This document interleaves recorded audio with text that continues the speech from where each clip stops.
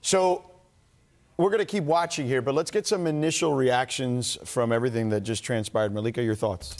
Other, other than that, uh, Ballmer really took the Nick Friedell advice.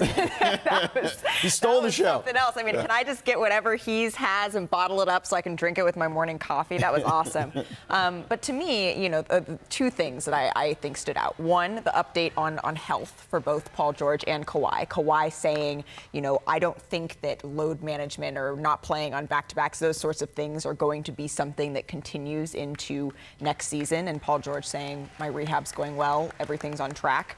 Um, and, and, then the second thing for me uh, was was saying that they have bigger goals. They want to win a championship, uh, and they, they don't feel like um, they're looking over their shoulder at, at, LeBron and what's going on there. They feel like they have all the equipment. So those are the two things automatically that I was like, all right, like here we go.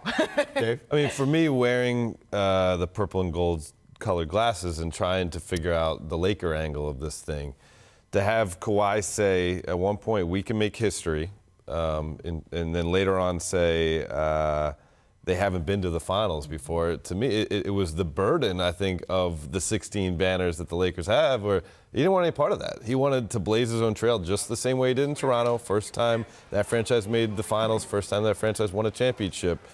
And then the other thing he said when he talked about why he wanted things quiet during the negotiation process he talked about the Clippers. He said they were true to their word. Nothing really got out. Right. And it makes you wonder about some of the reports we saw this week.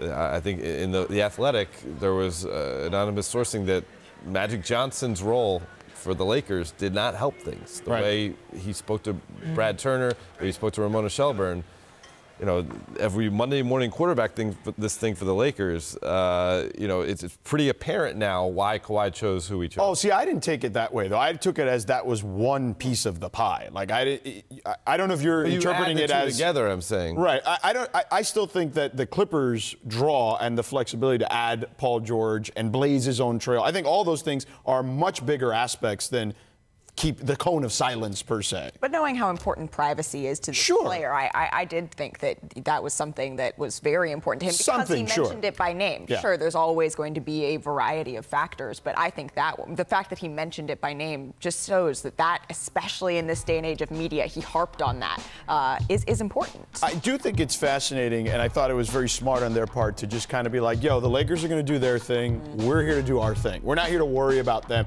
And let's face it, we know that nationally, this team is going to get covered like a super team.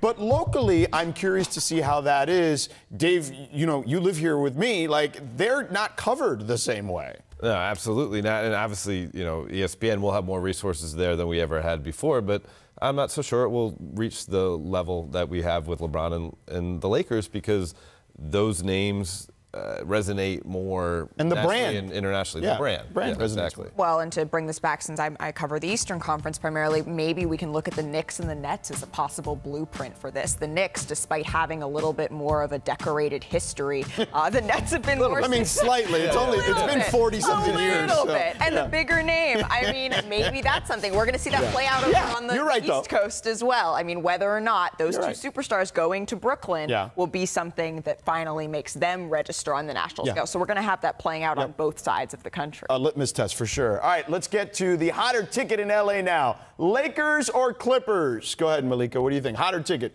Lakers. Yeah, yeah. yeah you do the quiet. ha, ha, ha, ha. it's, it's, it's the Lakers. They have the theater lighting. They have the bigger celebrities. Right. They still have right. one of the most compelling players in all of sports in the entire world, LeBron James.